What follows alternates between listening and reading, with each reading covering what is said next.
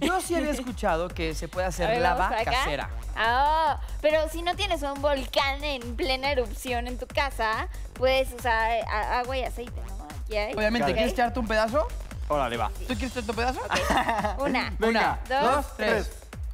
Ahí ¿Y qué? está. ¿Me voy a mojar o no me voy a No, mojar? tenemos que esperar A ver. a, que, a ver si se hace o no. Órale. Ve cómo el aceite hace que todo sea como viscoso. Eso Sí, sí padrísimo. parece como eh, las fotografías adentro de un volcán, ¿no? Pero se, Yo creo que o sea, sí. más bien, más bien parece como una lámpara de lava. Sí.